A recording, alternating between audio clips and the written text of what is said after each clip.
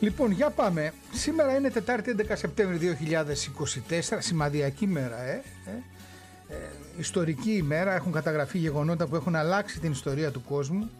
Θα ξεκινήσουμε από το πιο πρόσφατο, έτσι, κατάρρευση των δίδυμων πύργων και η επίθεση που δέχτηκε ε, η χώρα των Ηνωμένων Πολιτειών από διάφορα κέντρα. Τώρα εδώ είναι μια ολόκληρη συζήτηση, ας μην την πιάσουμε τι και πού και πώς έγινε. Καθένας έχει κάνει τις αναλύσεις του και η ίδια ιστορία έχει αναλύσει κάποια γεγονότα και 11 Σεπτέμβρη ήταν και η μέρα που Αμερικανοί πράκτορες εργαλεία του φασίστα Πινοσέτ στη Χιλή δολοφόνησαν τον Αλιέντε. Σήμερα 11 Σεπτεμβρίου όμως είναι και έναρξη των σχολείων εδώ κουδούνι έτσι ντριν ντριν και βέβαια το πρωί εγώ ερχόμουν παιδιά και είχα μια αγωνία, δεν ήξερα ότι είναι 9 η ώρα. Το σχόλιο του δικού μου του παιδιού τέλος πάντων, γιατί από ό,τι κατάλαβα διαφέρουν και οι ώρες.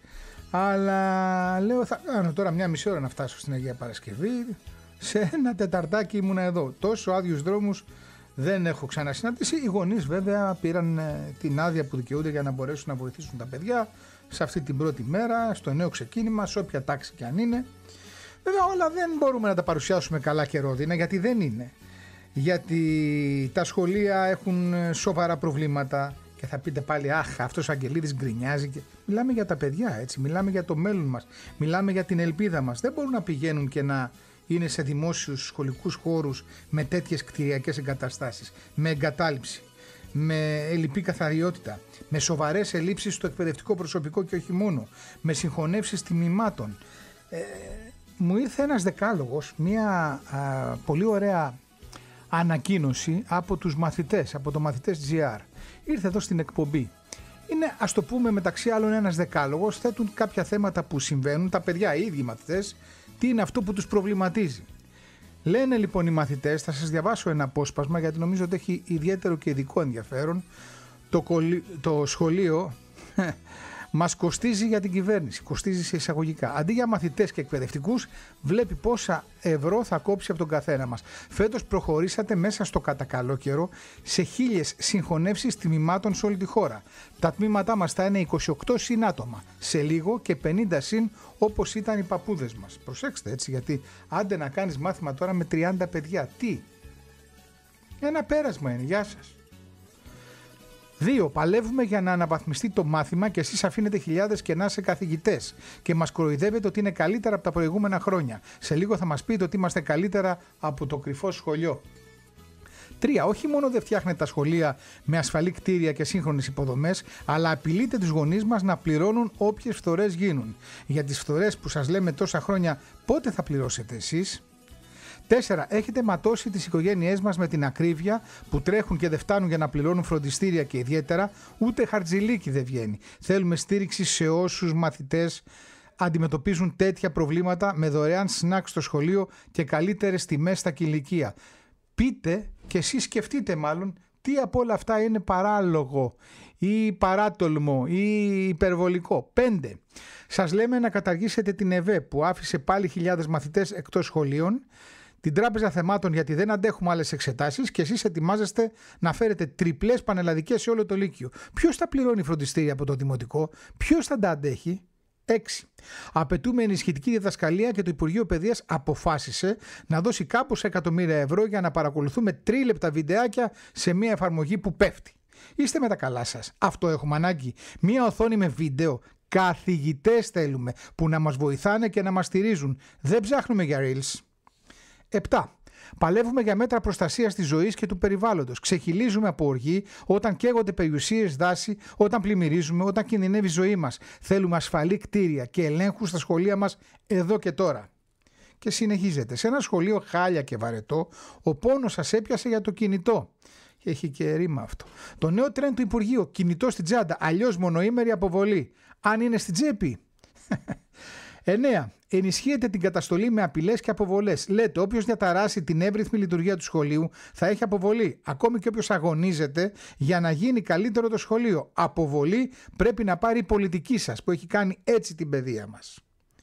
Και 10. Επενδύεται σε ένα σχολείο της παπαγαλίας, του ανταγωνισμού, του ατομισμού. Εμείς όμως είμαστε με την αλληλεγγύη, τη συλλογικότητα, με τον αγώνα. Και ένα εξτραδάκι 10 συν 1. Η μόρφωσή μας είναι το μέλλον μας. Δεν θα σας αφήσουμε να παίζετε με αυτή. Άλλαξα λίγο το σχέδιο και το κόλπο της εκπομπής γιατί νομίζω ότι ήταν πολύ σημαντικό να το ακούσουμε αυτό, να δούμε πώς σκέφτονται οι μαθητές, ένα κομμάτι των μαθητών έτσι, ε, τουλάχιστον αυτό και πώς το εκφράζουν αυτό προς τα έξω. Και νομίζω επειδή υπάρχει ρε παιδί μου όλο αυτό το κομμάτι με τα μέσα ενημέρωσης που φιλτράρει τα πάντα και δυστυχώς δεν το έχετε μάθει, ακούσει ή διαβάσει όπως θα έπρεπε σε όλες τις τηλεοράσεις, όλα τα κοινωνικά δίκτυα, ε, τις διαδικτυακές σελίδες των μεγάλων μέσων ενημέρωσης, τις εφημερίδες, τα ραδιόφωνα. Είπαμε κι εμείς ως τολμηρά παιδιά που είμαστε να το κάνουμε αυτό για να μαθαίνει και ο κόσμος τι ακριβώς συμβαίνει. Πάμε όμως τώρα στο θέμα της ημέρας μας γιατί μιας και πιάσαμε την ημερομηνία και είπαμε για την 11η του Σεπτέμβρη θα πιάσουμε μια μεγάλη προσωπικότητα στην κουβέντα μας. Θα συζητήσουμε για αυτήν, θα μάθουμε για αυτήν κάποια πράγματα που ενδεχομένως να μην ξέρουμε. Δεν μπορούμε να τα ξέρουμε όλα, πάντα μαθαίνεις και πάντα ε, έρχονται πληροφορίες που δεν γνωρίζεις ή αξιοποιείς, αξιολογείς αυτά που ξέρεις και τα μετατρέπεις σε κάτι πιο ε, ε, εύρυθμο, κάτι πιο ταιριαστό σε όλη αυτή την ιστορία. 11 Σεπτεμβρίου του 1954 έφυγε από τη ζωή η θρηλυκή Μαρίκα Κοτοπούλη, ε, μία από τις κορυφαίες Ελληνίδες θεατρικές ηθοποιούς, τραγωδός, ε, πρωταγωνίστησε σε έργα ξένων και Ελλήνων κλασικών συγγραφέων, αλλά και σε διαφορετικά θεατρικά είδη, όπου έπαιξε μετά από την τραγωδία και σε κομεντή, αλλά και σε φάρσα. Ήταν ανεπανάληπτη, συγκλονιστική και μέσα από το πέρασμα των χρόνων μοναδική και αξεπέραστη η ερμηνεία της σε όλες τις ε, περιπτώσεις. Κάποιοι λένε, ξέρετε, η Μαρίκα Κοτοπούλη δεν το είχε όμως, παιδί μου, με την εξωτερική της εμφάνιση, δεν ήταν, ξέρετε, Miss Twiggy και από εδώ και από εκεί και έτσι. Ήταν, σας πληροφορώ, μια γυναίκα που έβγαζε μια συγκλονιστική, μια μοναδική άβρα, ναι, με την εμφάνισή της, ναι, με την παρουσία της, ναι, με την πληθωρική παρουσία της σε όλα τα επίπεδα. Η σπιρτάδα του μυαλού της, η δημιουργία, η εξυπνάδα της σκέψης και η αποτύπωση όλων αυτών πάνω στο σανίδι. Νομίζω ότι είναι πράγματα που δεν θα τα ξαναζήσουμε και δεν θα τα ξαναδούμε. Και το ξέρει πολύ καλά και ο, ο κόσμος, ο μέσα κόσμος, ο θεατρικός κόσμος, όχι εμείς που μας αρέσει και πηγαίνουμε ως θεατές για να παρακολουθήσουμε τις διάφορες παραστάσεις. Ό,τι ο καθένας προτιμάει φυσικά, εντάξει δεν λέω ότι μπορεί να έχουμε όλοι τις ίδιες προτιμήσεις ή ότι μπορεί να έχουμε ακριβώς το ίδιο φάσμα των προτιμήσεων και λίγο θέατρο έτσι και λίγο κομμωδία και λίγο φάρσα και λίγο ε, έτσι ε, ιστορική αναδρομή και τραγωδία και κομμωδία, όχι. Λοιπόν, η Μαρίκα Κοτοπούλη γεννήθηκε στην Αθήνα. Ήταν η γονής της μέσα στο θέατρο, πατέρας της Θείας Άρχης και επικεφαλής του δραματικού Θειάσου Πρόοδος σε ένα πολύ μεγάλο χρονικό διάστημα και η μητέρα της βέβαια ηθοποιός. Ο πατέρας της Δημήτριος Κοτοπούλης δεν είχε και πολλές ας το πούμε επιλογές η Μαρίκα Κοτοπούλη. Μικρό παιδί σε ηλικία μόλις 5 ετών πρωτόπαιξε τον πρώτο του ρόλο το 1901 παρακαλώ. Είναι, ε, ήταν γεννημένη το 1887, το 1887, συγγνώμη. Άρα τον πρώτο της ρόλο τον έπαιξε το 1892. Μπέρδεψα λίγο τις ημερομηνίες. Πέντε ετών υποδίθηκε μία μαθήτρια, ενώ από το 1901, η ημερομηνία που σας είπα νωρίτερα, βρισκόταν διαρκώς δίπλα στους γονείς της, ως ε, ε, συμπληρωματική τέλος πάντων στο Θίασο έπαιξε σε διάφορους ρόλους και κατάφερε να ερμηνεύσει και δύσκολους ρόλους για την ηλικία της ε, ρόλους κλασικού ρεπερτορίου σε περιοδίες που έγιναν όχι μόνο στην Ελλάδα αλλά και στην ε, Κωνσταντινούπολη και την ε, Σμύρνη. Ε, βέβαια είπαμε ότι πρωτεμφανίστηκε ως ηθοποιός και είχε ένα ρόλο σε ηλικία 5 ετών όμως η πρώτη της, πρώτη της παρουσία σε θεατρική σκηνή ήταν ως βρέφος.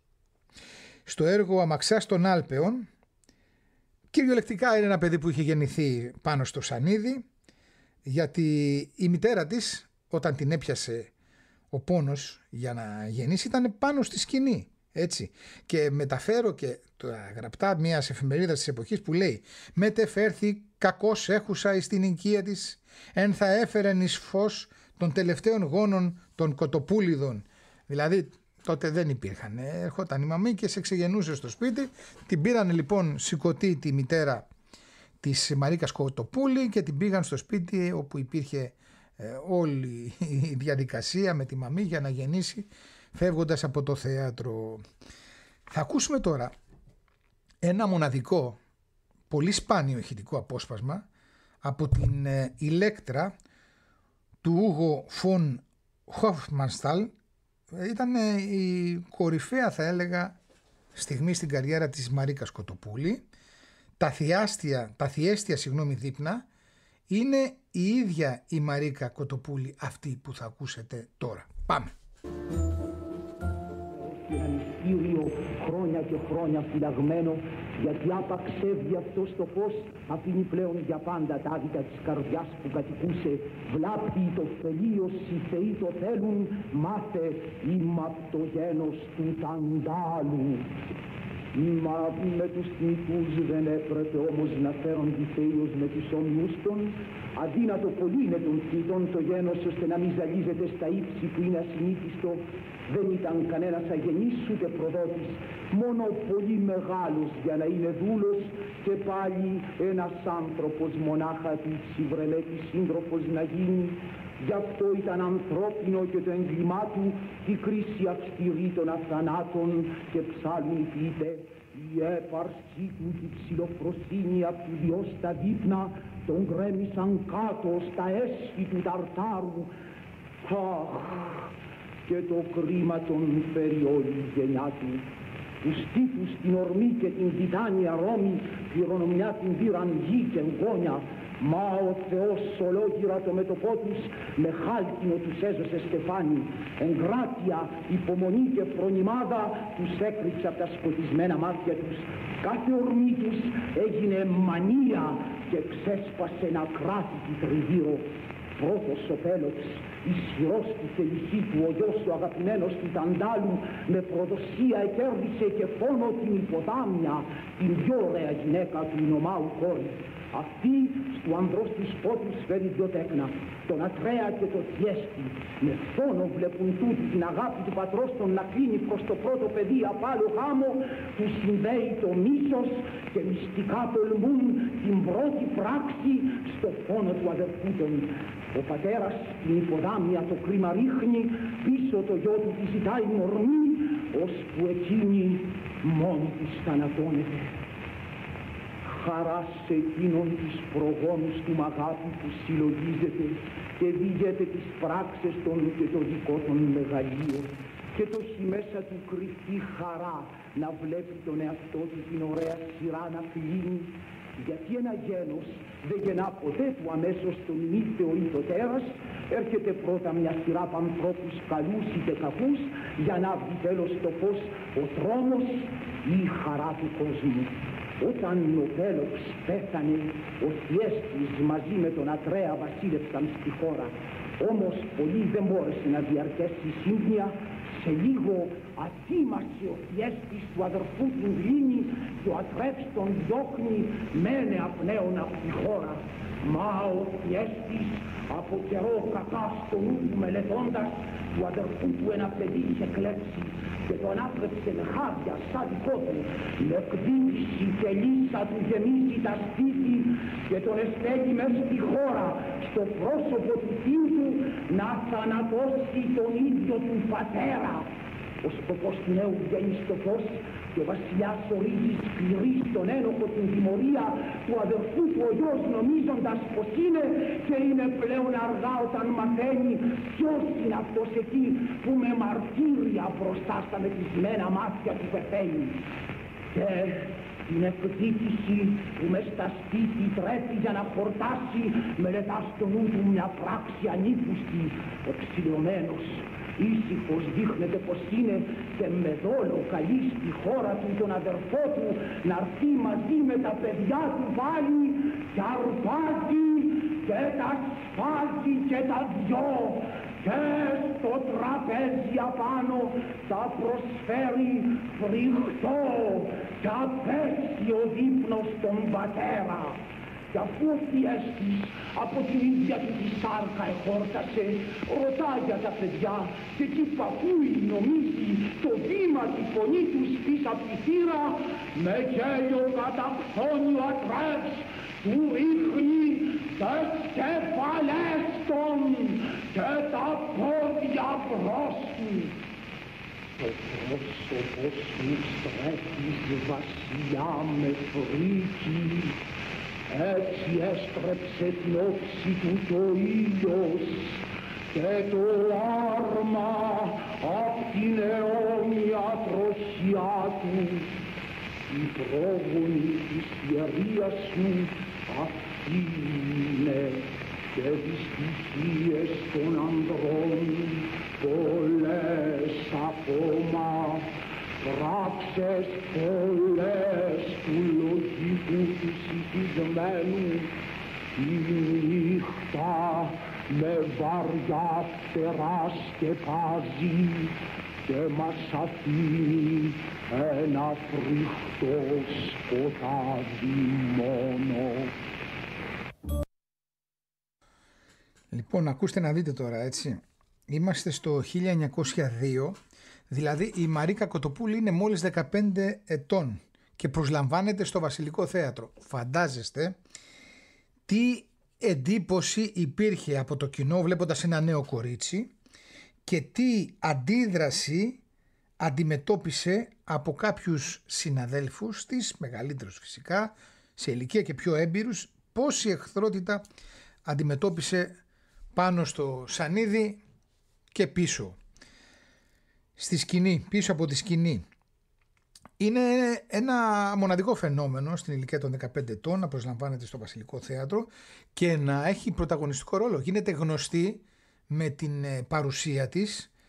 Το ταλέντο της γρήγορα αναγνωρίζεται από τους κριτικούς της εποχής οι οποίοι δεν ήταν ξέρετε τώρα αυτό που βλέπουμε ένας τηλεκριτικός και βγαίνει και σχολιάζει τι παίζουν οι εκπομπές αυτές οι μπαρούφες τέλος πάντων που υπάρχουν στην τηλεόραση και χαχαχά χοχοχού στα πρωινάδικα. Εκεί μιλάμε για κριτικούς οι οποίοι ήταν ε, βαρβάτοι.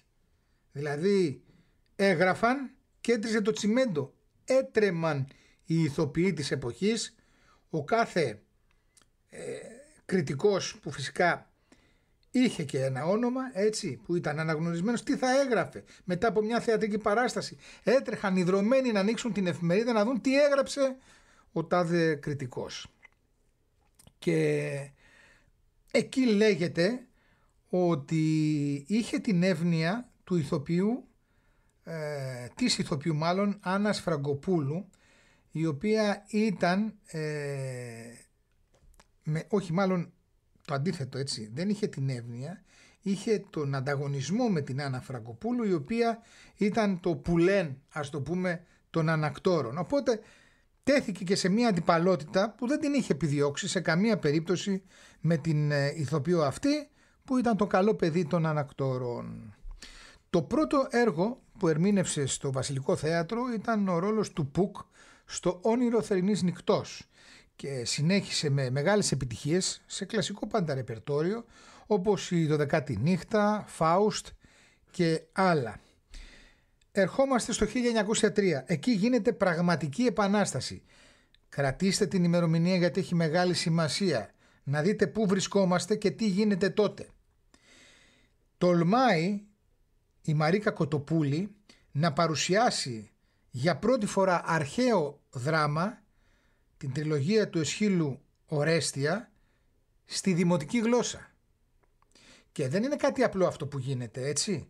Δεν είναι έγινε και μια αλλαγή στα θεατρικά δεδομένα ή τέλος πάντων έγινε και ένα χτύπημα στο συντηρητικό κόσμο με βάση τα κοινωνικά δεδομένα της εποχής. Δεν είναι αυτό. Εδώ μιλάμε ότι οι φανατικοί οπαδοί της Καθαρέβουσας, υποκινούμενοι από τον καθηγητή του Πανεπιστημίου Γεώργιο Μιστριώτη, αντέδρασαν, βγήκαν στους δρόμους, ήταν βίαιη η αντίδραση, έγιναν επεισόδια, είχαμε τραυματίες και ένα νεκρό είναι τα λεγόμενα ορεστιακά. Έχει καταγραφεί όλο αυτό το κομμάτι των επεισοδίων ως τα ορεστιακά Και αυτό γιατί τόλμησε η Μαρίκα Κοτοπούλη το 1903 να παρουσιάσει την ορέστια του Εσχύλου στη δημοτική γλώσσα. Βέβαια, μετά τα ορεστιακά, μετά τα επεισόδια, μετά το θάνατο ενός ανθρώπου και τον τραυματισμό άλλων, η παράσταση διακόπηκε επαόριστον.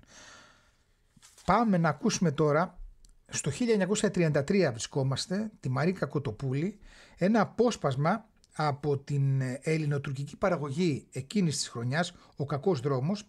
Είναι σκηνοθεσία του Μουχσίν Ετογρούλ, ένα σενάριο του Ναζίμ Χικμέτ, καταλαβαίνετε από το όνομα μόνο και μόνο. Είναι βασισμένο σε ιστορία του Γρηγορίου Ξενόπουλου και πρωταγωνιστεί εδώ η Μαρίκα Κοταπούλη, η Κοτοπούλη μαζί με την Κιβέλη συμπροταγωνιστούν. Έτσι, στο ηχητικό απόσπασμα που θα ακούσουμε τώρα, η Μαρίκα Κοτοπούλη ε, μιλά στο Παναθηναϊκό στάδιο λίγο μετά τους καταστροφικούς σεισμούς των Επτανήσων το 1953. Όχι, ε, αυτό είναι από το επόμενο βίντεο, συγγνώμη. Μη σας μπερδεύω, αφήστε το αυτό για το επόμενο βίντεο. Είμαστε στο 1943, πάμε να ακούσουμε τη Μαρίκα Κοτοπούλη.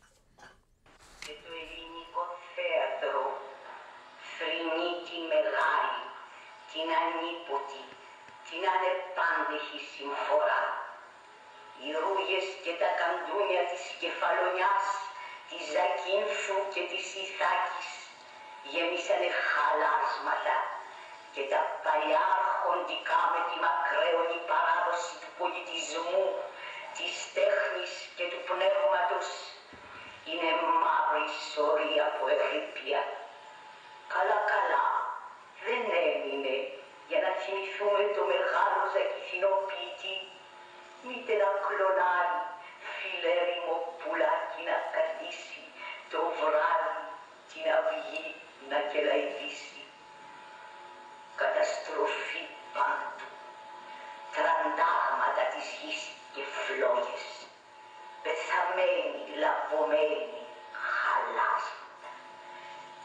Το ελληνικό θέατρο με συντριβή και οδύνη. Και αυτό δίνει το παρόν του στην πανελλήνια επιστράτευση εθνικής και ανθρώπινης αλληλεγγύης. Προσθέτει τη φωνή του στο προσκλητήριο για άμεση και θετική συμπαράσταση στο δράμα και στον πόνο της επιτανήσου μας. Παράλληλα όμως, οι εργάτες της σκηνής μπορούν να δώσουν την υπόσχεση πως θα διατηρήσουν και θα διαφυλάξουν ακέραιη και ζωντανή την πνευματική κληρονομία των ωραίων μας μισιών των νησιών με τη λαμπρή ακτινοβολία που συνέδεσαν τόσοι ποιητές, πεζογράφοι και θεατρικοί συγγραφείς. Κανένας σεισμός δεν μπορεί να μας καταστρέψει το Σολομό, τον Γκάλβο, το Λασκαράκο, το Ζαμπέλιο, τον Μάτεση, τον Ξενόπουλο και τόσους άλλους δημιουργούς. Ναι, όχι, καλά το είχα διαβάσει. Καλά το είχα διαβάσει. Είναι το ηχητικό απόσπασμα της Μαρίκας Κοτοπούλη από το Παναθηναϊκό στάδιο. Μιλάει το 1953 για τους καταστροφικούς σεισμούς των Επτανήσων με επίκεντρο την Κεφαλονιά, τη Ζάκυνθο και ε, εκείνο που υπάρχει στο βίντεο το οποίο μετατρέψαμε σε ηχητικό γιατί εδώ κάνουμε ραδιόφωνο είναι ταυτόχρονα με την ομιλία από το Παραθυναϊκό Στάδιο γιατί δεν υπάρχει εικόνα έπαιζε ως φόντο, ως εικόνα απόσπασμα από την ταινία που σας προείπαμε «Το κακό δρόμο» του 1933 με σενάριο του Ναζίμ Χικμέτ.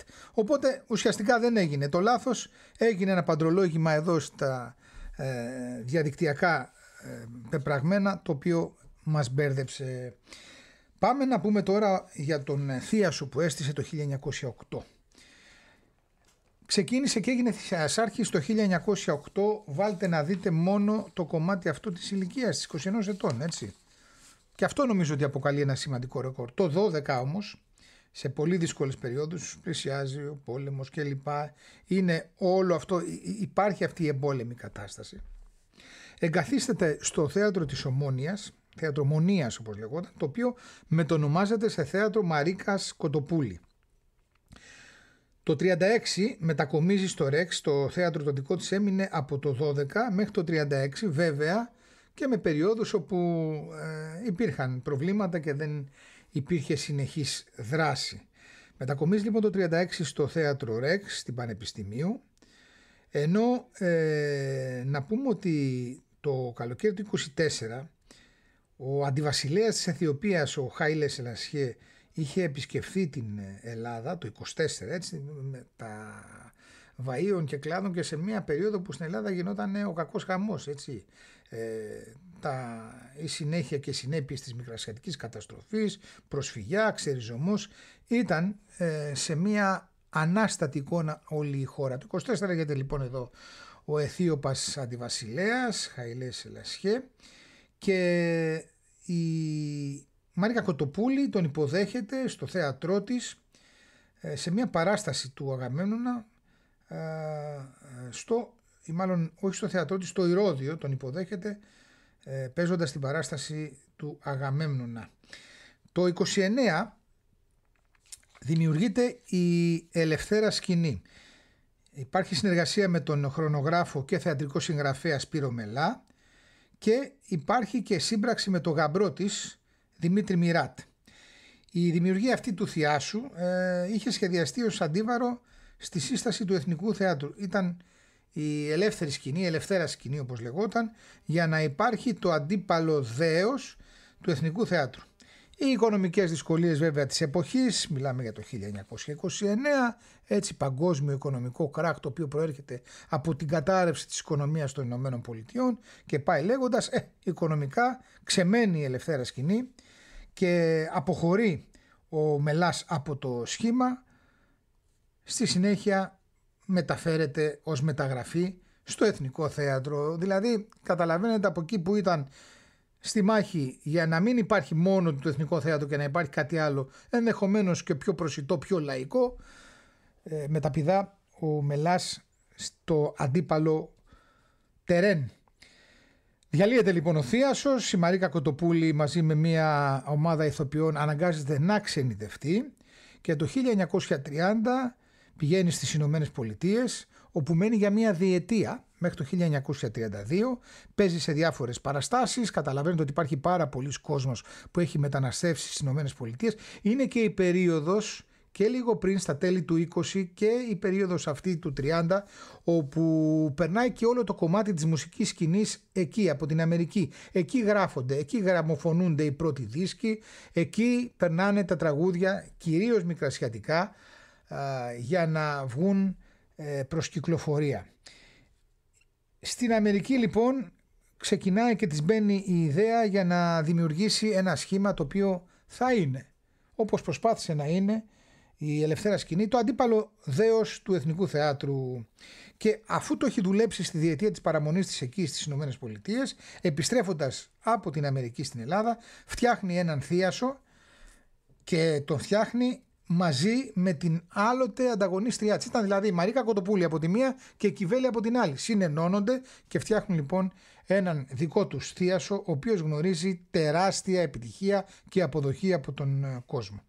Αυτό είναι το 32. Μπαίνουμε σε μια περίοδο πάρα πολύ δύσκολη, λίγο πριν το Δεύτερο Παγκόσμιο Πόλεμο, με την άνοδο του φασισμού σε όλη την Ευρώπη ε, να κυριαρχεί η φασιστική ιδεολογία και τα πράγματα είναι πολύ δύσκολα. Στον πόλεμο ε, φυσικά οι παρουσίες πάνω στο θεατρικό σανίδι αραιώνουν όχι μόνο για τη Μαρίκα Κοτοπούλη αλλά για όλους. Βέβαια μιλάμε για μια ε, ηγεμονική μορφή έτσι και ε, κρατάει ε, έτσι όλη η κατάσταση αυτή στον πόλεμο. με τα πολεμικά τα πράγματα είναι πάρα πολύ δύσκολα. Δίνει κάποιες παραστάσεις, υπάρχει φτώχεια, υπάρχει εξαθλίωση, υπάρχει αγωνία για το τι θα γίνει και πώς θα στηθεί ξανά από το μηδέν αυτή η χώρα και μετά από μερικές παραστάσεις σε όλη αυτή την περίοδο και στην εμφυλιακή Ελλάδα αλλά κυρίως μετά το 1952 πραγματοποιείται η τελευταία της εμφάνιση πάνω στο Σανίδι στην Ερμούπολη.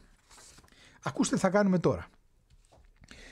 Είναι συγκλονιστικό αυτό έτσι. Ε, η Σεμίνα Τιγενή, η βουλευτής του ΚΚΕ, από το βιβλίο της «Η Απίθαρχη» παρουσιάζει μία συνομιλία της Μαρίκας Κοτοπούλη με τη Μαρίκα Νίνου. Σε ένα παράλληλο σύμπαν, οι δύο Μαρίκες μιλούν για τα πάθη τους, για τον έρωτα και για την προδοσία. Είναι δύο εμβληματικές γυναίκες του θεάτρου και της μουσικής, δύο πραγματικοί μύθοι.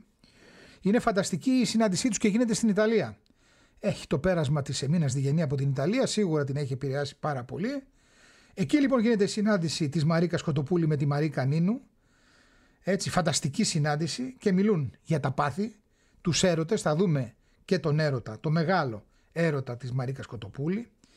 Μιλάνε για το χωρισμό, μιλάνε και για την προδοσία.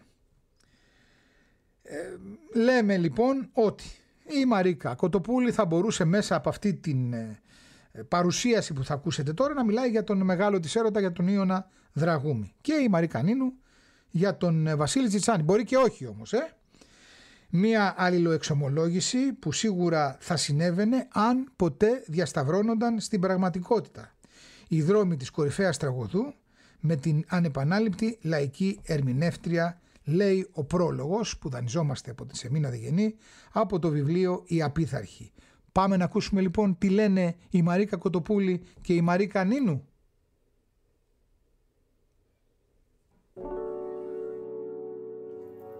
Στο βιβλίο μου «Η Απίθαρχη» γράφω για μια φανταστική συνάντηση της Μαρίκας Νίνου με τη Μαρίκα Κοτοπούλη σε ένα φανταστικό ταξίδι μου στην Ιταλία, στην Ίσκια. Φτάνω λοιπόν σε ένα resort που έχει χτιστεί σε ένα κάστρο του 16ου αιώνα. Και ποιες νομίζω ότι βλέπω απέναντί μου με το που σταθεροποιούμε στο πευκοδάσος. Ποιες νομίζεις πως είναι εδώ για να κάνουν τα ιαματικά λουτρά τους; Η Κοτοπούλη και η Νίνου και μάλιστα μαζί, στην ίδια σουίτα. Αναβάλω βόλτες, θάλασσες, θερμές πηγές και την καθιερωμένη επίσκεψή μου στο ριστοράντε Αλμπέρτο και μπαίνω στην εφαρμογή, βλέπω, ακούω, μυρίζω, γεύομαι, αλλά δεν φαίνομαι. Συζητούν. Προσπαθώ, αλλά δεν γίνεται να σου μιλάω όπως θέλω. Ντρέπομαι. Είσαι 35 χρόνια μεγαλύτερη μου. Εδώ κοπέλα μου δεν μετράνε αυτά. Μίλα μου όπως θέλεις. Πες τα μου όλα, θα σου πω κι εγώ. Σκέψου μόνο που ζήσαμε τόσα πολλά χρόνια δίπλα-δίπλα, σχεδόν στην ίδια γειτονιά, στο κέντρο της Αθήνας. Εσύ τραγουδούσες στην Αχαρνών και στην Αλεξάνδρα και εγώ γύρω από την Ομόνια έπαιζα. Μαζί αναπνέαμε Αθήνα. Αχ και να ξέρεις πόσο παράπονο έχω που δεν σε είδα ποτέ στο θέατρο. Δεν πρόλαβα όμως. Άκουγα για σένα, μάθαινα, σε έβλεπα στις εφημερίδες, αλλά όλο δούλευα τα βράδια, δεν γινόταν. Ήθελα πολύ, αλλά δεν γινόταν. Ούτε εγώ αγάπη μου σε είδα σε κέντρα να τραγουδάς, αν και μ' άρεσαν πολύ τα τραγούδια σου, όταν τα άκουγα στο ραδιόφωνο και το ξέρεις. Καμιά φορά τα σιγοτραγουδούσα μαζί σου γιατί σε ένιωθα. Κι εγώ ήθελα πολύ να έρθω να σε δω και να σε ακούσω να τραγουδάς, αλλά δούλευα. Να σου πω, το ξέρεις άραγε πως με είπαν Μαρίκα γιατί θαύμαζαν εσένα. Η πεθερά μου ήταν ξετρελαμένη μαζί σου. Το πραγματικό μου όνομα είναι Ευαγγελία, Ευαγγελία Ταμιάν. Το ξέρω αγάπη μου, όλα τα ξέρω. Είμαι τρία χρόνια νωρίτερα από σένα εδώ, σε έχω βακελωμένη. Φασκελωμένη δεν λες καλύτερα. Γελάνε. Εγώ έφτασα σήμερα και ζήτησα να δω εσένα πρώτα. Με σένα ήθελα να μιλήσω. Νομίζω πως σε νιώθω κάπως σαν συγγενή μου. Φοβάμαι όμως λίγο εδώ.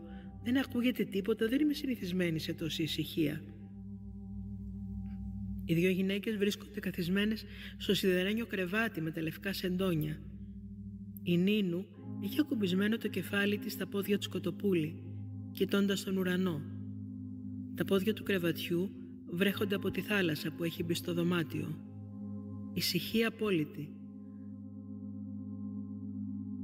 Λόγια ανταλλάξαμε βαριά την τελευταία τη βραδιά και ρίζωσε το μίσος στην ψυχή μας. Μετά τους πρώτους στίχους τραγουδούν μαζί τα λόγια της Παπαγιανοπούλου. Γι' αυτό το σκέφτηκα πολύ. Στο εξής δεν ωφελεί να συνεχίσουμε με τέτοια τη ζωή μας. Τον αγαπούσες κορίτσι μου. Ίσως κάποτε, ίσως και ποτέ. Κάτι παράξενο με έδινε μαζί του ή έτσι νόμιζα. Έγιναν όλα τόσο γρήγορα σαν ταινία που την είχαμε βάλει σε γρήγορη κίνηση. Έπρεπε μέσα σε 7 χρόνια να χωρέσουμε δύο ζωές. Γίνονται αυτά; Ε, δεν γίνονται. Ξέρω όμως πως όταν ήμουν στην Αμερική δεν τον αγαπούσα πια, όχι. Εκεί ερωτεύτηκα έναν άλλον, κάποιον που με αγαπούσε, που με υπολόγιζε και με πρόσεχε. Εκείνος με φρόντιζε και ανησυχούσε για μένα. Ήθελε να με βλέπει να γελάω. Άλλο τώρα αν εγώ δεν μπορούσα. Είχα ξεχάσει πως γελάνε. Το έκανα μόνο την ώρα της δουλειάς πάνω στο πάλκο. Αλλά αυτό δεν μετράει για γέλιο, έτσι δεν είναι. Ήταν κάτι σαν μάσκα, σαν μορφασμός, κάτι ξένο και με το στόμα και με τα μάτια μου. Αλλά τώρα που το σκέφτομαι μπορεί και να μην τον αγάπησα και ποτέ. Άλλα πράγματα ένιωθα για εκείνον. Δεν τα έχω ξεκαθαρίσει ακόμη. Μπορεί και να ήταν και ένα παιχνίδι εξουσίας. Εσύ πώς τα έβγαλες πέρα με κάτι τέτοια; Εγώ καρδιά μου λέει Κοτοπούλη αυτό που ξέρω με σιγουριά είναι πως αυτό που έζησα ήταν πολύ μεγάλο το πάθος. Όλα στα άκρα ήταν τότε. Δεν ξέρω ούτε κι εγώ με βεβαιότητα να τον αγάπησα. Μου άρεσε όμως όλο αυτό το παιχνίδι του πάθους, των συγκρούσεων και της εξουσίας που είπες λίγο πριν. Μπορεί και να τα χρειαζόμουν. Τώρα που το ξανασκέφτομαι, ναι, τα χρειαζόμουν και τον χρειαζόμουν. Πολύ τον χρειαζόμουν. Αλλά και όλα αυτά που πέρασα μαζί του, τα χρειαζόμουν. Σκληρή κουβέντα τον χρειαζόμουν, Μαρίκα μου. Πονάει. Το ξέρω, Μαρίκα αλλά αυτή είναι η αλήθεια. Γελάνε και οι δυο που το πάνε από Μαρίκα σε Μαρίκα. Η Νίνου, σαν να μην θέλει άλλο να μιλήσει, αρχίζει να παίζει με το κινητό της. Σταματάει σε ένα βίντεο όπου ακούει το όνομά της. Στο backstage, δυο δημοσιογράφοι διαπληκτίζονται. Γυρίζει προς την Κοτοπούλη. Μισό λεπτό, συγγνώμη, κάτι λένε για μένα. Α, ναι, για δυνάμωσε λίγο και βάλτε από την αρχή. Κοιτούν την οθόνη του κινητού. Ξεκινάει το βίντεο. Δείχνει δυο άντρες σε ένα δημοσιογραφικό γραφείο. Ρε εσύ βάλα ακουστικά και εμείς δουλεύουμε, δεν είσαι μόνος σου. Διαλύθηκαν ρε εσύ, δεν δουλεύουν, έλα τελειώνω. Δύο ώρες τώρα το ίδιο μου λες και δεν έχω σταυρώσει αράδα. Τη σεράχ μου μέσα. Τελειώνω λέμε, τσεκάρω κάτι χρονολογίες και ρε εσύ πώς ήρθε τώρα να κάνεις ολόκληρο αφιέρωμα σε μια σχεδόν άγνωστη; Ποιος θυμάται τώρα και ποιος νοιάζεται για μια τραγουδίστρια του 50 που είπε 5-10 τραγουδάκια; Να μην σε νοιάζει σένα. Ρε άκουμε λίγο. Θέλω να πω σε ποια κοινά απευθύνεται. Γιατί το 1844 το έχεις χαμένο από χέρι. Για ποιους ακριβώς χτυπιέσαι και μας ταλαιπωρείς κι όλους εμάς; Θέλεις να μην ασχολείσαι; Δεν πας μέσα να μοντάρεις τα θεματάκια σου να μας αφήσεις να χτυπιέμαστε κι εμείς και όποιοι θέλουμε και με όποιο κοινό γουστάρο. Άντε μπράβο, παραγνωριστήκαμε εδώ μέσα. Η Νίνου γυρνάει, την κοιτάει με έκπληκτα μάτια και της λέει: Μαρίκα μου βλέπεις, που ετοιμάζουν αφιέρωμα. Να κοίτα στην τηλεόραση. Δεν φανταζόμουν πως θα ένοιαζα τον κόσμο κοντά 70 χρόνια μετά. Ούτε η ζωή μου, ούτε εγώ, ούτε τα τραγούδια μου. Ειλικρινά δεν το πιστεύω πως ασχολούνται μαζί μου. Και για άλλα 500 χρόνια θα τα λένε τα τραγούδια σου, κοπελάρα μου, να το θυμάσαι αυτό που σου λέω. Σκέψω μόνο πως ακόμη και εδώ το τραγουδάνε όλοι, καιρό τώρα. Έχεις περάσει ποτέ από τα διαμερίσματα της Μέρλιν και του Μπάρτ; Σε διαπασόν σε έχουν. Σένα ποια τραγούδια μου αρέσουν πιο πολύ; Θέλω να πω του γλεντιού ή του χωρισμού; Του χωρισμού βέβαια. Τρελαίνομαι για ένα που σου έγραψε ο Χιώτης. Το ξέρω όλα απ' έξω και ανακατοτά. Θες να σου το πω; Για να μου πεις βέβαια αν το λέω καλά. Μισό λεπτό να σηκωθώ όρθια και να στο παίξω κιόλας. Σηκώνεται, στείνεται, αρχίζει. Πες μου αν με βαρέθηκες και αν σου έχω γίνει βάρος. Θέλω λοιπόν να μου το πεις χωρίς καθόλου να ντραπείς με όλο το θάρρος. Και αν δεν με θέλεις να είμαι κοντά σου, εγώ θα φύγω, θα φύγω μακριά σου. Πες μου αν άλλον αγαπάς και θέλεις να μ' αφήσεις, δεν θα στο παραπονεθώ, δικαίωμά σου είναι αυτό, με όποιον θες να ζήσεις. Και αν δεν με θέλεις να είμαι κοντά σου, εγώ θα φύγω, θα φύγω μακριά σου. Βρε Μαρίκα, εσύ είσαι πολύ σωστή. Τι ωραία που δεν βγήκες στο πάλκο. Θα μας έσβηνες όλες. Κάτσε εκεί που είσαι στο θέατρο να έχουμε το κεφάλι μας ήσυχο. Δηλαδή καλά το είπα. Καλά μόνο, άριστα. Α, να σου πω και κάτι για να ξέρεις, εγώ αυτό το τραγούδι το ηχογράφησα στην Αμερική το 53 και δεν ήμουν και πολύ στα καλά μου τότε. Γιατί εγώ στα καλά μου ήμουν νομίζεις όταν το ανακάλυψα και άρχισα να το λέω συνέχεια. Το εγώ θα φύγω μακριά σου, το έλεγα σαν να ξέρα πως την επόμενη χρονιά θα πέθαινα, σαν να το έλεγα στον εαυτό μου. Το προαισθανόμουν και το τραγούδι σου με βοηθούσε να ξεσπάω Έλα μωρέ τώρα άστα αυτά. Γιατί να τα αφήσω, φοβάσαι μην πεθάνουμε κι άλλο. Ξεκαρδίζονται. Όμως για να είμαι ειλικρινής, πιο πολύ από όλα τα τραγούδια σου, αγαπάω το ότι σήμερα, τι αύριο, τι τώρα. Αυτό μου κολλάει συνέχεια όλο και πιο πολύ τελευταία. Όταν σε ακούω να το λες, νιώθω σαν να βλέπω ένα ολόκληρο θεατρικό έργο, μια αρχαία τραγωδία τριών λεπτών. Πες το μου λίγο βρε Μαρίκα μου, τρελαίνομαι να σε ακούω. Η Νίνου σηκώνεται από το κρεβάτι. Τα πόδια της είναι μέχρι τους αστραγάλους στη θάλασσα. Κοιτάζει έξω και ψιθυρίζει. Σε κάθε λέξη προχωράει γρήγορα η μέρα στην Ίσκια και από πρωί γίνεται απόγευμα. Είναι Σεπτέμβρης. Ξεκινάει το ηλιοβασίλεμα όταν λέει «Μπορεί και για τους δυο να είναι καλύτερα, να καθαρίσουμε μια ώρα αρχίτερα». Και να σου πω κάτι, μπορεί τελικά να ήταν καλύτερα, όπως ακριβώς το τραγούδισες. Οι λέξεις κλειδιά ήταν αρχίτερα και καλύτερα. Μα σίγουρα ήταν, συμφωνώ, δεν πρόσεξες τι λέει μετά. Τη το τραγουδάει. Στο δρόμο αυτό και δυο θα δυστυχήσουμε και αν περιμένουμε τι θα κερδίσουμε. Σοφή στίχη. Μπορεί, εκείνο που με τρομάζει όμως εμένα κορίτσι μου είναι πως κάποιες σαν και εμάς πρέπει να γίνουν παρανάλωμα του πυρός, να κομματιαστούν για να μείνει στους αιώνες ένα τραγούδι από σένα, ένας πίνακας από τον άλλον, μια παράσταση από μένα, ένα πείμα, άδικο ρε γαμότο. Η Νίνου πλατσουρίζει σαν να μην ακούει. Κάποια στιγμή ρωτάει μία την άλλη, δεν έχει καμία σημασία ποια είναι αυτή που ρωτάει. Θα μπορούσαν να είναι και δύο. Σου έχει τύχει να συμπονάς τον εαυτό σου όταν τον βλέπεις μέσα σε μια τέτοια σχέση; Εγώ λοιπόν αν θες να ξέρεις δεν έχω την παραμικρή συμπόνια για τον εαυτό μου. Εγώ το μόνο που ήθελα τότε ήταν να παίρνω φόρα και να πέφτω στη φωτιά του. Να με φυλάει και να βγαίνει αίμα. Μέχρι που να μην έχει άλλο, μέχρι να πεθάνω. Αυτό ήθελα μόνο. Να καίγομαι και αυτός να με κρατάει στα χέρια του. Να τον μυρίζω και να με κοιτάει στα μάτια. Εγώ αυτά μόνο γύρευα από εκείνον. Να με κοιτάει στα μάτια. Σαν να είμαι εγώ ο κόσμος όλος. Ένας κόσμος που μόλις γεννιόταν μπροστά του. Ολοκένουργιος. Που τον βλέπει για πρώτη φορά. Αυτός μόνο. Δεν ξέρω να σου πω ότι είναι η ευτυχία. Πάντως αυτό που ξέρω είναι πως φυσιολογική ανθρώπινη κατάσταση δεν είναι.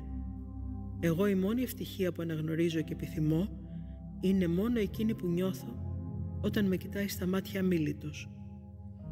Και εγώ τότε και μόνο τότε θα μπορώ να έχω αποκλεισμένη και την παραμικρή πιθανότητα ψεύδους. Αυτό είναι για μένα η ευτυχία, η αλήθεια. Τα μαγαζιά στο κεντρικό δρόμο είναι γεμάτα μπουκαλάκια με κολόνιες, λεμόνι, λικέρ λεμόνι, μαρμελάδες λεμόνι, ζαχαρωμένες φλούδες από λεμόνι, κρέμες προσώπου και πίτες λεμονιού. Όλη η ίσκια μυρίζει λεμόνι και θάλασσα. Κοτοπούλη και Νίνου φορούν μαύρα ολόσωμα μαγιό, ψάθινα καπέλα και μουλιάζουν στη θάλασσα του Σορτζέτο. Ακόμη κουβεντιάζουν για το 1953. Μοιάζουν ήρεμες και σίγουρες πως κανένα αγόρι και κορίτσι, ποτέ στον αιώνα τον άπαντα δεν υπάρχει περίπτωση να τις ξανατελεπορήσει. Ειλικρινά σας λέω, δεν ξέρω γιατί αυτές οι δυο επέλεξαν αυτό το νησί του Λεμονιού για να συναντηθούν. Στον 45ο τον όροφο των θαλασσών πάντα συναντάω όσους δεν φαντάστηκα ποτέ. Ο όροφος αυτός θα μπορούσε να λέγεται και αλλιώς. Να είχε για όνομα τη λέξη αλήθεια.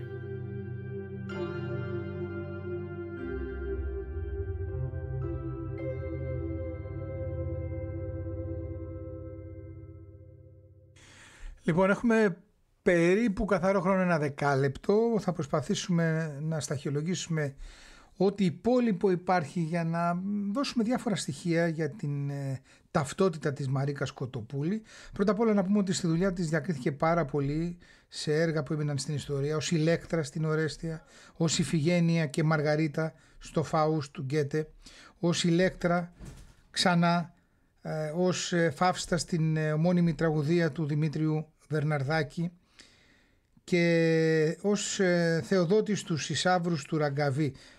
Επίσης ήταν ξεχωριστός ο ρόλος και η ερμηνεία της στη Στέλλα Βιολάντη του Ξενόπουλου το καλοκαίρι του 1909 στο θέατρο Ομονίας, το οποίο μετέπειτα όπως σας είπαμε έγινε θέατρο Μαρίκα Σκοτοπούλη. Πάμε να δούμε λίγο το κομμάτι της προσωπικής της ζωής που ήταν πραγματικά θυελώδης από τα ενανικά χρόνια ε, κυκλοφορούσε αρχικά η φήμη ότι της άρεσε και το ίδιο φίλο. Έτσι, αυτό το λέμε ως φήμη, φυσικά δεν μπορούμε να ξέρουμε και να επιβεβαιώσουμε κάτι πάνω σε όλα αυτά. Το 1904 όταν ήταν ε, το 87 γεννηθήσα μισό λεπτό, το 87 δεν είπαμε είναι, ναι. Ε, ήταν 17 ετών, έτσι. Στο θέατρο πάνω ε, τα έφτιαξε με το σκηνοθέτη, τον Θωμά Οικονόμου. Ήταν αυτός που αναγνώρισε και το ταλέντο της και τη βοήθησε αρκετά στο κομμάτι της καθεώρησής της. Μικρό κορίτσι τώρα έτσι, δεν είχε καν ενηλικιωθεί. Ενώ ε, συνέχισε και συμμετείχε ε, μαζί του και στην πορεία μετά την ε, αποχώρηση από το Βασιλικό Θέατρο που έγινε μαζί και για τους δύο. Δηλαδή Θωμάς Οικονόμου και Μαρίκα Κοτοπούλη το 1906 έφυγαν παράλληλα από το Βασιλικό Θέατρο και πήγαν στο Ελεύθερο Θέατρο το οποίο είχε στον Θίασο και τον πατέρα της Δημήτρη. Έληξε όμως την επόμενη χρονιά το 1907 ο δεσμός της με τον οικονόμου με άσχημο τρόπο και η ίδια για να ξεσκάσει, για να ξεφύγει, για να διαφύγει έφυγε στο Παρίσι.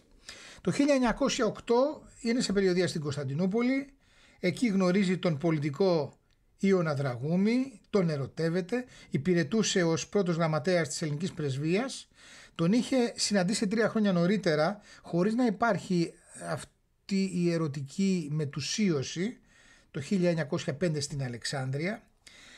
Από το 1908 που γνωρίζει τον Ιωνα Δραγούμη ε, η σχέση τους ε, κρατάει μέχρι το 1920 οπότε και ε, δολοφονείται ο Δραγούμης από τους υποστηρικτές του Βενιζέλου. Και η σχέση αυτή ήταν σκανδαλώδης για την εποχή. Συζούσαν από το 12 έτσι χωρίς να έχει επισημοποιηθεί μέσα από κάποιον γάμο, κάποιο χαρτί και ε, αυτό ήταν ε, εντελώς ανεπίτρεπτο σε εκείνη την περίοδο. Υπήρχε όμως η μεγάλη ταξική διαφορά των δύο και ε, καταλαβαίνετε ότι ε, η μεγαλοαστική οικογένεια του Δραγούμη είχε αντιδράσει έντονα στην παρουσία της Μαρίκας Κοτοπούλης στην ζωή του. Όταν ο Δραγούμης βρισκόταν εξόριστος στην Κορσική 17 με 19 η Μαρίκα Κοτοπούλη γνωρίζει τον θεατρικό επιχειρηματία Γεώργιο Χέλμη με τον οποίο και συνάπτει ερωτική σχέση. Τον παντρεύεται το 23, δηλαδή ουσιαστικά τρία χρόνια μετά το θάνατο του Ιώνα Δραγούμη και μένει μαζί του μέχρι το υπόλοιπο της ζωής του. Ε, παιδιά δεν απέκτησαν. Έφυγε όπως είπαμε ε, την 11η Σεπτεμβρίου του 1954. Τώρα, ε, έχει ενδιαφέρον να δούμε λίγο το κομμάτι της πολιτικής ταυτότητας της Μαρίκα Κοτοπούλη, γιατί ήταν σε μια περίοδο που τα πράγματα ήταν πολύ έντονα, πάντα είναι έντονα στην πολιτική. Ε, φαίνεται ότι δεν είχε κάποιο θέμα και καμία αντιπαλότητα με το μοναρχικό καθεστώς, έτσι, και είχε κατηγορηθεί γι' αυτό από τον λαό. Όμως, ε, ο Γιάννης Τσαρούχης έχει καταθέσει μια μαρτυρία ότι έχει δει την Μαρίκα Κοτοπούλη να βοηθά τους συναδέλφους της που ήταν ε, αγωνιστές κρύβοντάς τους στα καμαρίνια όταν τους κυνηγούσαν φυσικά. Και είχε πει ο Γιάννης Καρούχης ότι καμουφλάριζε την ανθρωπιά της με την δικαιολογία του θεάτρου.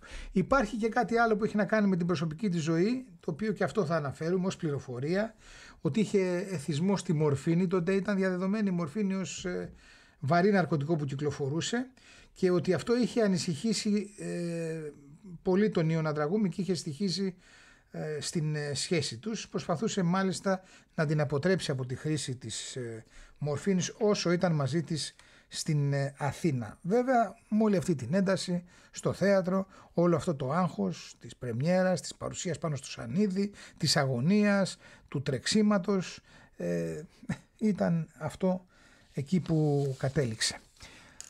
Μιας και λέμε για το καμαρίνι της, κάποια στιγμή την επισκέπτεται ο Βενιζέλος ως πρωθυπουργός. Έτσι, του άρεσε πολύ η Κοτοπούλη, ήθελε ε, και πήγε στο θέατρο το δικό της, το θέατρο Μονία που λέγονταν πλέον Θέατρο Μαρίκα Κοτοπούλη. Ήθελε να τη δει και να την γνωρίσει από κοντά. Ενημερώθηκε φυσικά η ηθοποιός ότι βρισκόταν ε, στο κοινό και ο Πρωθυπουργός με τον οποίο ήταν εντελώς αντίθετη η πολιτική της ε, σκέψη. Άλλωστε αυτό προσδίδεται και από το γεγονός της σχέσης της με τον αντίπαλο του Ελευθέρου Βενιζέλου, τον Ιωνα Δραγούμη. Ο Βενιζέλος γνώριζε ότι είχε τελείως διαφορετική πολιτική αντίληψη η Μαρίκα Κουτοπούλη. Μπήκε στο καμαρίνι, άρχισε να της μιλάει και κάποια στιγμή άρχισε να της μιλάει και πολιτικά. Ε, εκνευρίστηκε κάποια στιγμή η Μαρίκα Κοτοπούλη και για να μην φανεί αγενής προς τον Πρωθυπουργό ε, φωνάζει τον Δημήτρη Μιράτ, ο οποίος ήταν ε, ανυψιός της και του λέει Μίτσο τρέξε να με γλιτώσεις μπροστά στο Βενιζέλο όλα αυτά έτσι γιατί λίγα λεπτά ακόμα αν μείνει ο πρόεδρος στο καμαρίνι μου θα γίνω Βενιζελική οπότε σηκώνεται ο Βενιζέλος στο άκουσμα αυτής της φράσης ε, και φεύγει γράφει η εφημερίδα της εποχής ότι έσπεψε να απομακρυνθεί γελών έχει και άλλα πολλά ιστοριούλες που έχουν ενδιαφέρον. Κάποια στιγμή ε, την ε, συναντά ο συγγραφέας και σατυρικός ποιητής Πολ Νόρ. Το πραγματικό του όνομα ήταν ε, Νίκος Νικολαίδης. Νεαρός τότε, ήταν δημοσιογράφος πριν γίνει συγγραφέας και σατυρικός ποιητής και τη συστήνεται. λέει «Γεια σας, ονομάζομαι Νίκος Νικολαίδης και είμαι δημοσιογράφος». Και το απαντάει η Μαρίκα Κοντοπούλη «Κάτι τρέχει στα γύφτικα». Εκείνος όμως ήταν πανέξυπνος, την ευνηδιάζει και λέει: Το ίδιο θα έλεγα και εγώ για εσά, τη μεγάλη καλλιτέχνηδα. Η Μαρίκα Κοτοπούλου δεν εκνευρίζεται, ενθουσιάζεται με το χιούμορ του νεαρού, πέφτει στην αγκαλιά του, τον ε, αγκαλιάζει και τον ε, φυλάει και από τότε γίνεται στενή του φίλη. Επίσης, άλλη μία έτσι ωραία ιστοριούλα πριν κλείσουμε έχει να κάνει με έναν ε, ηθοποιό ο οποίος βρισκόταν στην ελευθέρα θεατρική σκηνή τον ε, Πραξιτέλη. Αυτό ήταν το όνομά του. Θα έπαιζε ένα ρόλο στη Σαλόμη του Όσκαρ Βάιλντ, όπου εκεί ε, κανείς ηθοποιός δεν θα μίλαγε και ήταν ένας ρόλος που δεν τον ήθελε κανένας γιατί ήταν βουβός ο ρόλος αυτός. Η Μαρίκα Κοτοπούλη λοιπόν προσπαθεί να τον πείσει ε, και του λέει είναι ρόλος για σας κύριε Πραξιτέλη από τον οποίο αυτό ρόλο εξαρτάται η τύχη του έργου και φυσικά θα αμυφθείτε γενναία. Καταλαβαίνετε λοιπόν πόση σημασία έχει το παίξιμό σας με τη διαφορά ότι δεν θα βγάλετε ούτε γρή από το στόμα σας. Ε, οπότε ε, αρχίζει και αισθάνεται τώρα ο Πραξιτέλης την ηρωνία της ηθοποιού και της απαντάει τότε γιατί δεν βάζετε τον πρωταγωνιστή σας, τον Μιράτ, στο σπουδαιότατο αυτόν ρόλο; Και από τότε έγιναν φίλοι. Λοιπόν, με αυτή την ιστοριούλα την τελευταία για τη Μαρίκα Κοτοπούλη και τη ζωή της, Α, να πούμε ότι υπάρχει ένα εξαιρετικό μουσείο το οποίο βρίσκεται στη συμβολή των οδών ε, Αλέκο Παναγούλη και υπολογαγού Καβαθάς του ζωγράφου. Είναι η θερινή κατοικία της ε, Μαρίκας Κοτοπούλη. Ε, εκεί γεννήθηκε και έμενε εκεί.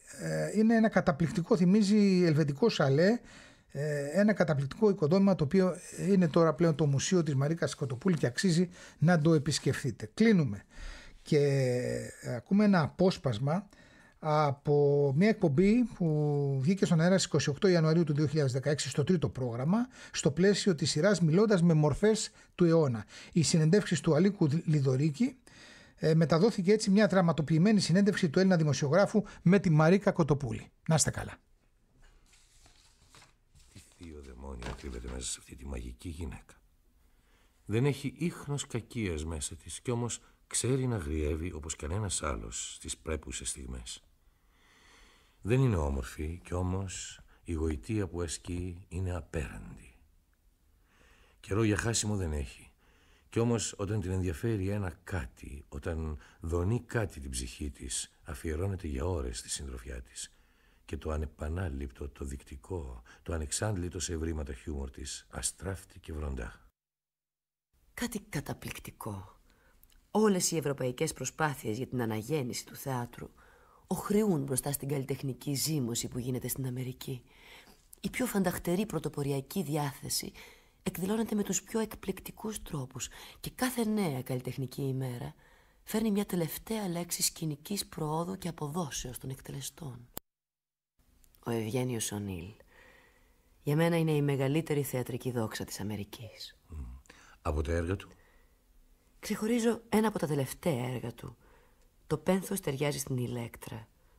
Αυτό θα ήθελα, αν έπαιζα εδώ στο διάστημα της παραμονής μου, να έδινα στο αθηναϊκό κοινό. Στα επαρχιακά θέατρα της Αμερικής, οι περιοδεύοντες θίαση που δεν έχουν βέβαια τις εγκαταστάσεις των μεγαλοπόλεων, όπως δεν τις έχει και κανένα θέατρο εδώ, μεταχειρίζονται ένα μηχάνημα μάλλον εύκολο σε μεταφορά, οικονομικός προσιτό, που διευκολύνει αφάνταστα την αλλαγή των σκηνικών, χωρίς κανένα θόρυβο, χωρίς σφυροκτυπήματα και φασαρίες, με μόνο ένα στιγμιαίο σβήσιμο των φώτων. Η Μαρίκα έχει σκοπό να το φέρει και για πρώτη φορά να το εισαγάγει στην Ελλάδα, αν το καταπιεστικό ατυχώς για την τέχνη κράτος διευκολύνει στο ζήτημα του φόρου μια απόφασή της, θα σχηματίσει πιθανόν θίεσο και θα μας εμφανιστεί.